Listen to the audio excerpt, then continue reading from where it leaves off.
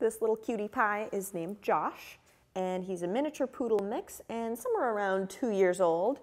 Uh, but Josh is still a puppy at heart.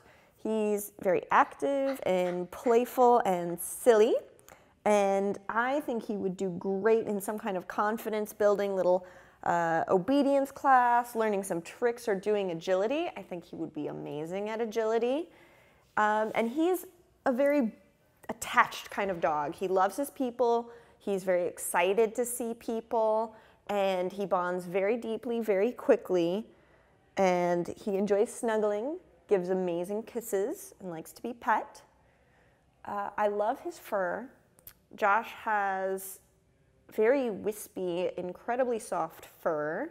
Kind of looks like little feathers on a boa. He really does look like a permanent puppy. So even when he gets older, I think he's still gonna look like he's just a little baby. Um, and he, he's the kind of dog that's gonna enjoy being spoiled um, and have lots of attention.